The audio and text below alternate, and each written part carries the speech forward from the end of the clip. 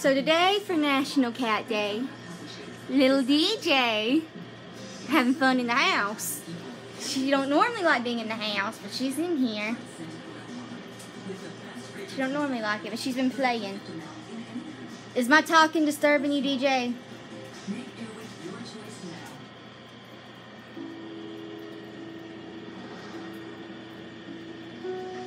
Isn't she beautiful? She's a pretty baby. You gonna smack at me? Nope. You wanna smack at me? Are we playing peekaboo? Yeah, you think I'm silly. You'll always think I'm silly.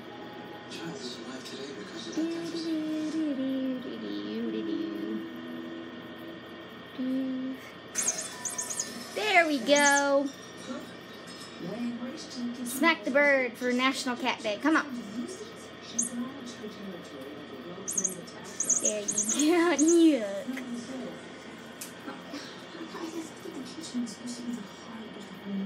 Isn't she a baby? And also for National Cat Day. Do, do, do, do, Hello, Creampuff. He's a tired old man. He's done with life. Or done with us, rather. I get it. Dude, that's starting from his nap. On the DJ front. What you doing? Say itchy, itchy, itchy, itchy.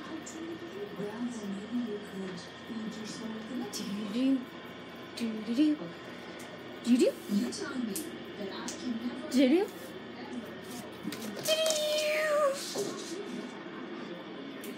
I really didn't scare her, guys. She's just playing.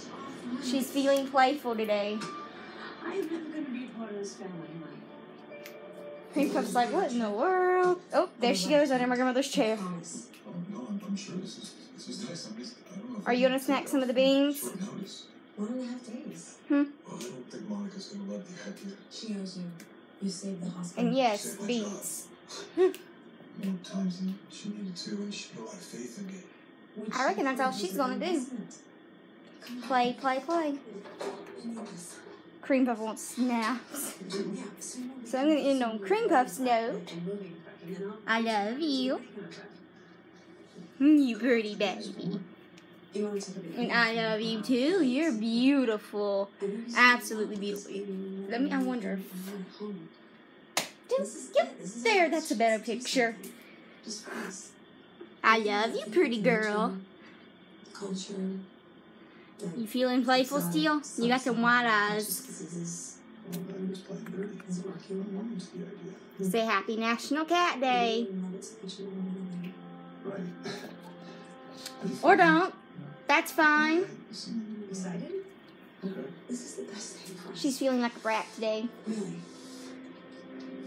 So I'm gonna end on this note. Say bye, Creampuff. Really?